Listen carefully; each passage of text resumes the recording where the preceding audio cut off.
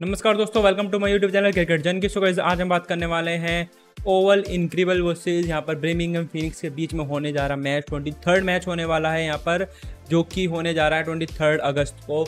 और अगर जो बात करें दोनों ही टीम की ओवल इनक्रीबल्स की तो भाई पाँच मुकाबले खेले, पाँच में से तीन अपने नाम करें वहीं सेम दूसरी कंडीशन ब्रिमिंगम फिनिक्स के भी पाँच में से तीन मुकाबले अपने नाम करे हैं। दोनों ही टीम की कंडीशन सेम चल रही है, लेकिन इस वाले मैच में भाई कोई सी एक टीम अपनी चौथी विन लेकर के जाने वाली है, लेकिन लेकर के कौन सी जाएगी जानने के लिए वीडियो को एंड तक देखते रहिए। लेकिन वीडियो स्टार्ट करने से पहले सभी से छोटी सी रिक्वेस्ट अगर जो आप लोगों ने चैनल को सब्सक्राइब नहीं करा, पहले चैनल को सब्सक्राइब करिए वीडियो को लाइक करिए। सो कैसे चलिए बढ़ते अपने टॉपिक की ओर।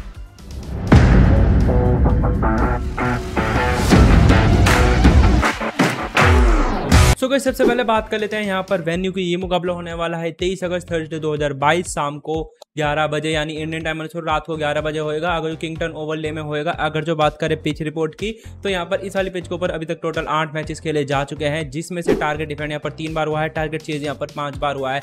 यानी कि मैं सिंपल यही कहना चाहूँगा, यहाँ पर जो है टारगेट चेज और टारगेट डिफेंड के दोनों के चांसेस लगभग लगभग एक जैसे ही है। तो यहाँ फिर भी यहाँ पर बैटिंग पहले ना लेकर के, पहले बॉलिंग लेने में थोड़ा सा फ़ायदा रहने वाला है, क्योंकि यहाँ पर टारगेट चेज जो है पाँच बार हुआ है। अगर जो बात करें एवरेज इनिंग स्कोर का तो फ़र्स्ट एवरेज इनिंग स्कोर यहाँ पर वन रन का है टारगेट चेज चेजिंग स्कोर यहाँ वन रन का है और टारगेट डिफेंडिंग स्कोर यहाँ पर वन रन का है। यानी कि यहाँ पर जो रन बनने वाले हैं, लगभग लगभग 140 से लेकर के 160 के बीच में रहने वाले हैं। अगर जो 140 तक रन बनते हैं 150 तक रन बनते हैं, तब भी यहाँ पर टारगेट चेस हो सकता है। लेकिन अगर जो 150 से ऊपर रन चले जाते हैं तो भाई समझ जाना, भाई टारगेट डिफेंड के चांसेस बढ़ते जा रहे हैं। अगर जो अब बात करें टीम परफॉर्मेंस की, भाई टीम परफॉर्मेंस कैसे होने वाली है दोनों ही टीम की?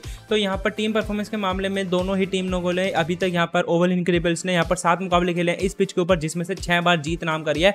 यानी कि ओवल इनक्रेबल्स का यहाँ पर थोड़ा सा फ़ायदा होने वाला है होम ग्राउंड का, क्योंकि भाई उन्होंने सात मुकाबले ऑलरेडी खेल रखे हैं। सात में से भाई छह बार अपने नाम जीत करिए तो यानी कि उनका थोड़ा सा फ़ायदा होने वाला है, क्योंकि उनको इस वाली पिच के ऊपर फ़ायदा है, क्योंकि उन्होंने थोड़े बहुत मैच खेले हैं। वहीं दूसरी ओर ब्रिमिंगम फिनिक्स ने भाई एक भी मुकाबला नहीं खेला तो इसमें ज़ीरो विन है।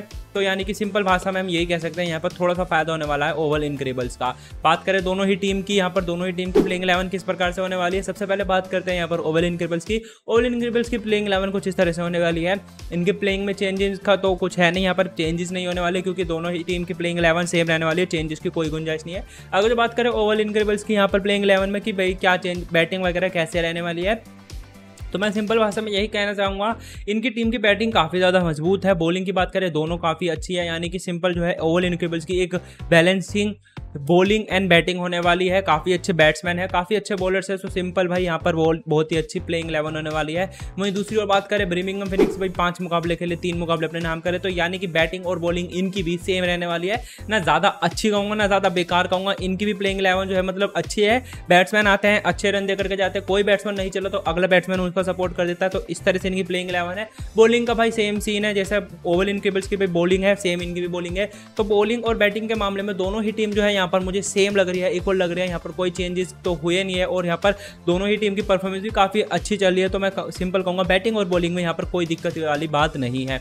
अब बात करते हैं लास्ट छः मुकाबलों की। भाई लास्ट छः मुकाबलों में दोनों ही टीम की क्या परफॉर्मेंस रही है? तो लास्ट छः मुकाबलों में ओवल इनक्रेबल में भाई छः में से तीन मुकाबले जीते हैं, यानी कि एक जीतती है, एक हारती है। वहीं बात करें बैटिंग एवरेज स्कोर तो वन रन का है, जो कि काफ़ी ज़्यादा अच्छा है, क्योंकि भाई हंड्रेड में वन का बैटिंग एवरेज बहुत ही अच्छा होता है। बैटिंग बॉलिंग एवरेज की बात करें टेन का कि अच्छा है, वहीं बात करें ब्रिमिंगम फिनिंग से। बर्मिंगम फिनिक्स भाई तीन मुकाबले जीते हैं।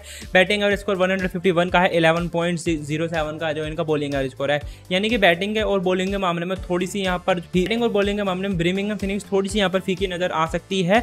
अब अगर जो बात करें फाइनल रिज़ल्ट की फाइनल रिज़ल्ट क्या बनता है भाई? कौन सी टीम ये मुकाबला लेकर के जाने वाली है? तो अगर जो विन परसेंटेज बना है तो मेरे हिसाब से जो विन परसेंट बनती है, वो सिक्सटी और फोर्टी की बनती है। सिक्सटी परसेंट बनती है ओवल इनक्रेबल्स की और सेवेंटी फोर्टी परसेंट बनती है यहाँ पर ब्रिमिंगम फिनिक्स की। ब्रिमिंगम फिनिक्स को मैंने कम इसलिए रखा क्योंकि उनके पास यहाँ पर दो डिसएडवांटेज है। एक तो उन्होंने एक भी मुकाबला नहीं खेला है इसके ऊपर और लास्ट है मुकाबलों में भाई उनकी थोड़ी सी परफॉर्मेंस खराब रही है। इस वजह से मैंने उन्हें फोर्टी परसेंट पर रखा है और ये जो मैच जो जीतने वाली है वो ओवर इनक्रिबल्स ही है। यानी कि हमारी फाइनल प्रिडिक्शन ओवर इनक्रिबल्स होने वाली है। अगर जो आप लोगों को लगता है, भाई ब्रिमिंगम फिनिंग जीतेगी तो आप लोग अपनी रेकमेंड बॉक्स में दीजिए। बाकी जाने से पहले सभी से छोटी सी अगर जो आप लोग मैच को और डिटेल में जानना चाहते हैं व्हाट्सएप पर कॉन्टैक्ट करिए, हमारे चैनल को सब्सक्राइब करिए इंस्टाग्राम में फॉलो करिए। मिलते हैं अगली वीडियो में, तब तक के लिए टेक केयर बंदे मात्र गुड बाय